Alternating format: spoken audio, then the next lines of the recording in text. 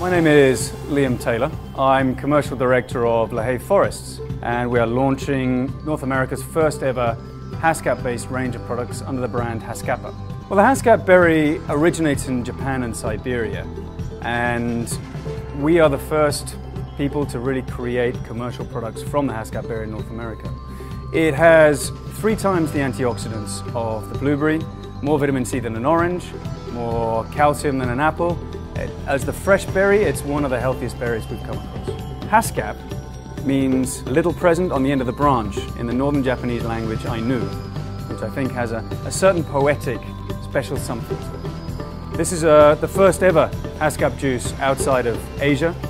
It's got an incredibly deep, dark color. It tastes fantastic. It's got quite a tang to it.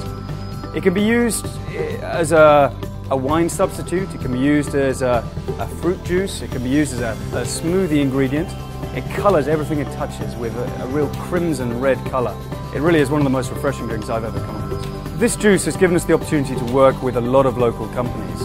We have worked with Terra Beata who have helped us to process our berries into not only juice but dried product, jam, a number of different products. Winning the 2013 Best New Juice Award has cemented in people's eyes that this is a product that can be commercialized in North America. This is a product with value added potential. Growing the berry here, producing the products with local companies means that we can create a, a new environment here that will get people excited about these new Haskap berry products.